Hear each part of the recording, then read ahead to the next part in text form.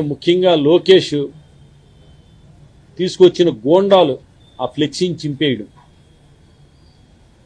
శాంతి భద్రతల సమస్యను సృష్టించడం వైఎస్ఆర్సీపీ వాళ్ళని రెచ్చగొట్టాలనే ప్రయత్నం చేయడం ఎంత ప్రయత్నం చేసినప్పటికీ కూడా వైఎస్ఆర్సీపీకి సంబంధించిన కార్యకర్తలు కానీ మేము కానీ ఎంతో సమన్వయంతో వాళ్ళ ఏదో ఒక సాఫీగా పాదయాత్ర చేసుకుని పోతారని సహనం వహించాం. దానికి ఉదాహరణ వాళ్ళ ముందు రోజుని చింపేసిన ఫ్లెక్సీ. ఏదైతే ప్రకాశం చౌక్లో పెద్ద వంతెన దగ్గర ఈ ఫ్లెక్సీని ఇలా చింపేశారు. చింపినప్పటికీ కూడా మేము సహనం వహించి అక్కడ మరొక కొత్త ఫ్లెక్సీ ఏర్పాటు చేసుకోవడం జరిగింది. కానీ భీమవరంలో కోట్లాది రూపాయలు ఖర్చు పెట్టి వాళ్ళ పాదయాత్రకి ఏర్పాటు చేసుకున్న ఫ్లెక్సీని ఎక్కడా కూడా మేము ఎక్కడా కూడా టచ్ చేయలేదు. మా ఫ్లెక్సీ చింపినందుకు మమ్మల్ని రెచ్చగొట్టినందుకు మేము తలుచుకుంటే గనక తెలుగుదేశం పార్టీకి సంబంధించిన ఒక్క ఫ్లెక్సీ కూడా ఉండేది కాదు. తెల్లారేసరికి పీకి తగలబెట్టేవాళ్ళం. కానీ మేము శాంత కాముకులు ప్రజాస్వామ్యాన్ని గౌరవించేవాళ్ళం. ఆయన పాదయాత్ర సజావుగా సాగాలి ముందుకు వెళ్ళాలి అని చెప్పి ఆలోచనతో మేము ఒక కొత్త ఫ్లెక్సీ కట్టుకుంటే లోకేష్ గోండాలు ఏ రకంగా ఆ ఫ్లెక్సీ మీద రాళ్ళు విసిరి వైఎస్ఆర్ సిపి వాళ్ళని రెచ్చగొట్టాలని శాంతి భద్రతల సమస్య సృష్టించాలని ప్రయత్నం చేస్తున్నారో ఈ ఫోటోలో చూస్తే కనుక స్పష్టంగా అర్థమవుతుంది. ఇది కాకుండా ఎప్పటికి కూడా వైఎస్ఆర్సీపీ వాళ్ళు రెచ్చిపోవడం లేదు రెచ్చగొట్టడం లేదు. శాంతి భద్రత సమస్యలు కలిగించాలని మనం ప్రయత్నం చేస్తుంటే వీళ్ళు గాంధీ మహాత్ములలాగా శాంతిగా ఎటువంటి స్పందన లేదు. కాబట్టి ఏదో రకంగా ఇంకా మాటల ద్వారా అన్నా రెచ్చగొట్టాలని జగన్మోహన్ రెడ్డి గారి మీద ఎన్నో ఆరోపణలు. ఆయన ఒక సైకో అని ఇష్టం వచ్చినట్లుగా ఆరోపణలు చేస్తూ దూషిస్తూ సభ్య సమాజం ఎవరు కూడా అంగీకరించబడినటువంటి భాషను ఉపయోగిస్తూ విమర్శలు చేయడమే కాకుండా నా మీద ఒక గజ దొంగ అని చెప్పి ఈ భీమవరం ప్రాంతానికి నేను ఒక క్యాన్సర్ గడ్డని. అసలు అది నోరా తాటిపెట్ట క్యాన్సర్ గడ్డ ఏంటి? గజ దొంగనేంటి నిజంగా నేను గజ దొంగనే.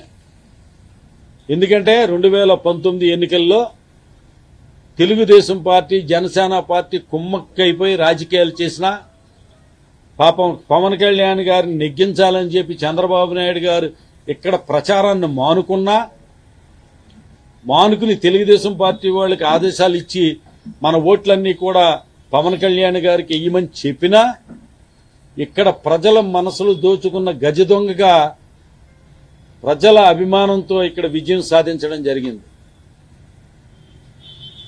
అంతేకాదు ఏదైతే లోకేష్ పాదయాత్ర భీమవరంలో మొదలుపెట్టాడో ఆయన బహిరంగ సభ పెట్టుకున్నాడో ఆ సభకి భీమవరం నుంచి కనీసం ఐదు వందల మంది జనం కూడా రాలా. ఎక్కడో ఉండి నియోజకవర్గం నుంచి అక్కడి నుంచి ఇక్కడి నుంచి జనాల్ని డబ్బులు ఇచ్చి పోగు చేసుకోవడం జరిగింది.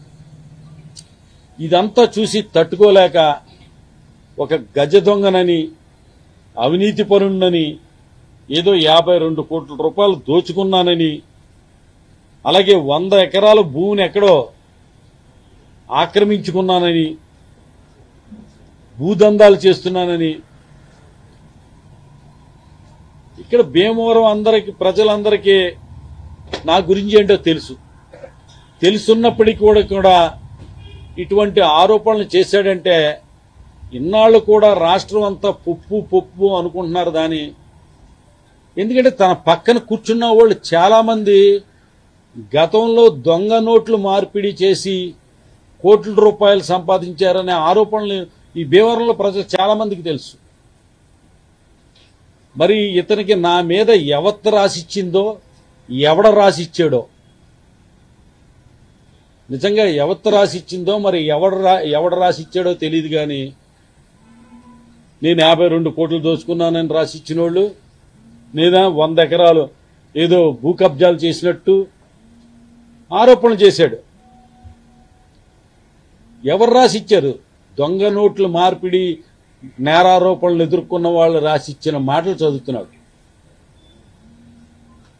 నేను అడుగుతున్నాను బాబు ఆ యాభై రెండు కోట్లు మరి ఎప్పుడు ఎలా తీసుకున్నానో ఏంటో నాకైతే తెలియదు అవి ఎక్కడ ఉన్నాయో నాకు చెప్తే కనుక ఆ యాభై రెండు కోట్లతోటి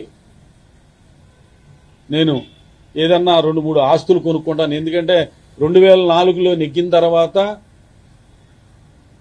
ఇప్పుడు రెండు వేల పంతొమ్మిది వరకు చూసుకుంటే కనుక భీమవరం పట్టణంలో ఒక డెబ్బై రెండో డెబ్బై ఐదు సెంట్లో భూమి కొనుక్కున్నాను నేను.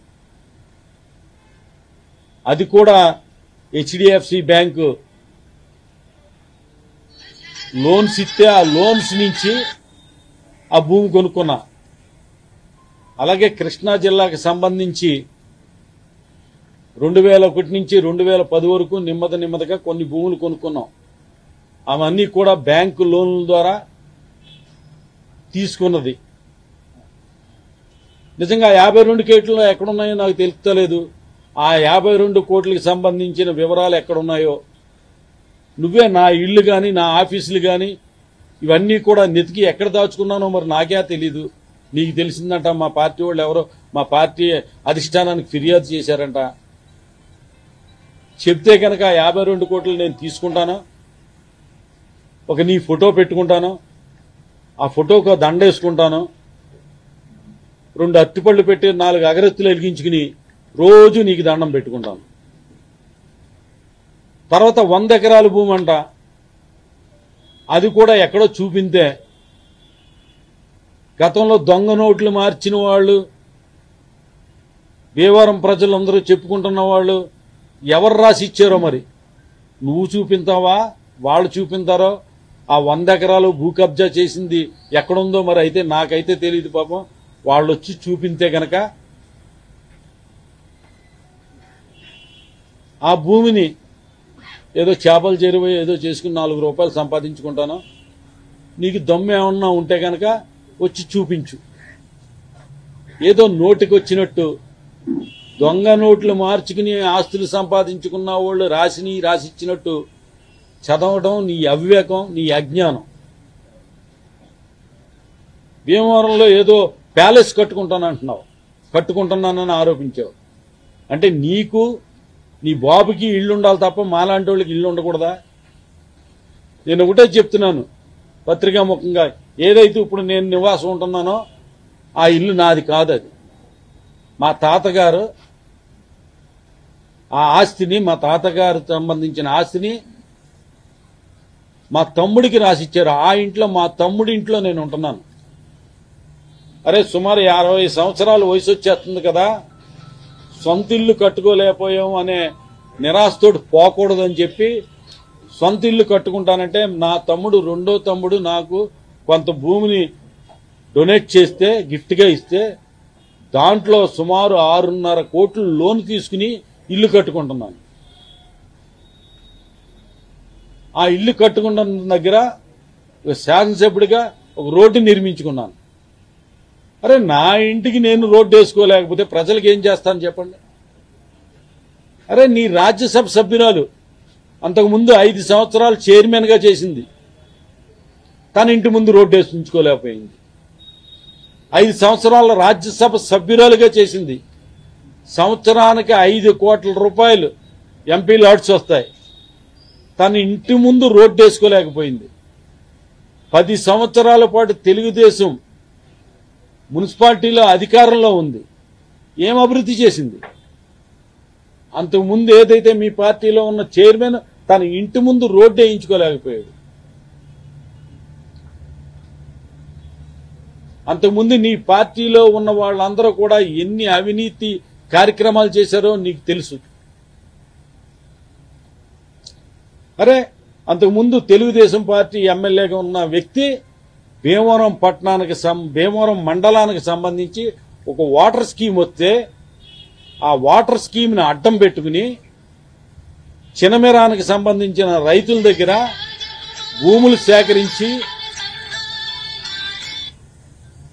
ఆ భూములన్నీ కూడా ప్రభుత్వానికి మీరు స్వయంగా అప్పగిస్తే కనుక ప్రభుత్వం నుంచి డబ్బులు రావడం ఆలస్యం అయితే కనుక మీరందరూ కూడా నష్టపోతారు అని చెప్పి నే ఆ పేరున రాయండి ఆ భూములు.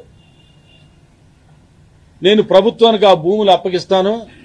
మీకు ఇప్పుడే డబ్బులు చెల్లిచ్చేస్తాను. మీరు వేరే చోట భూమి కొనుక్కోవచ్చు అని చెప్పి కళ్ళబొల్లి కౌరులు చెప్పి ఆ భూములన్నీ కూడా తన పేరున రాయించుకుని ప్రభుత్వానికి అప్పగించకుండా భీమవరం మండలానికి సంబంధించిన తాగునీటి సమస్య పరిష్కరించకుండా ప్రజల నోట్లో మట్టి కొట్టిన వ్యక్తి మీ తెలుగుదేశం పార్టీకి సంబంధించిన ఎమ్మెల్యే. మీ తెలుగుదేశం పార్టీకి సంబంధించిన చైర్మన్ మాజీ రాజ్యసభ సభ్యురాలు భీమవరం పట్టణానికి సంబంధించి కంపోస్ట్ యార్డ్ ఏర్పాటు చేస్తానని చెప్పి పది ఎకరాలు ల్యాండ్ ఎక్విజేషన్ చేసి ఆ ఏదైతే కంపోస్ట్ యార్డ్కి సంబంధించి బూచీని చూపించి ఆ భూమికి పక్కన యాభై ఎకరాల భూమి తక్కువ ధర కొట్టేసిన వ్యక్తి ఆ తర్వాత ఆళ్ళ పార్టీ వాళ్ళతోటి గ్రామస్తులతోటి కలిపి కోర్టుల్లో వేయించి దాన్ని ఆపిన వ్యక్తి.